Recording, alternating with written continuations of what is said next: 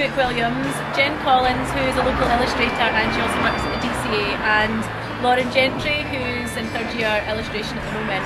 We met through through the Central Station and Superfly poster project, which happened at the end of, I think it was the end of January.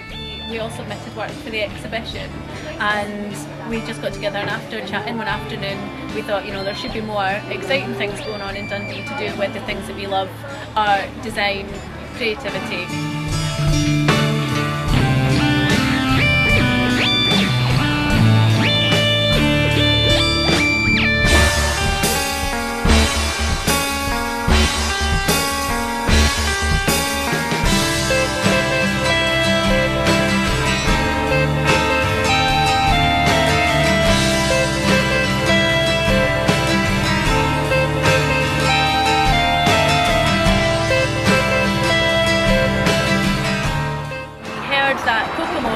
On Old Hawkhill was closing down and that they were giving free nights away to anyone who wanted to host an event.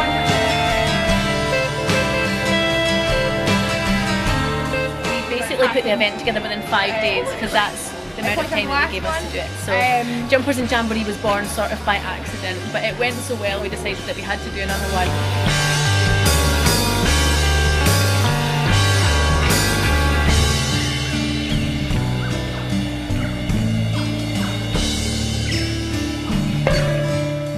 35 artists. We've got quite a lot from Dundee, a few from Glasgow. We have a girl exhibit in textile work from Spain and an illustrator who sent work all the way from Chicago. So we've got people from all over the world for this one. So we're really excited just to have such a, an amazing selection of artists show their work here.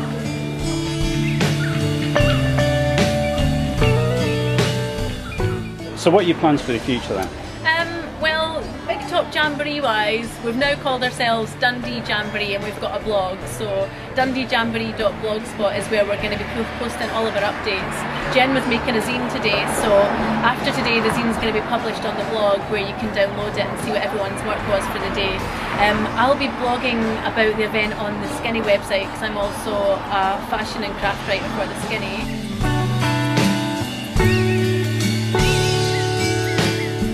Taking a break to do some of her own work and Lauren's going away travelling over the summer.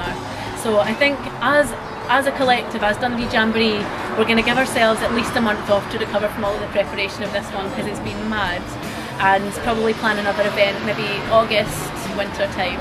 So get on the Christmas bandwagon I think.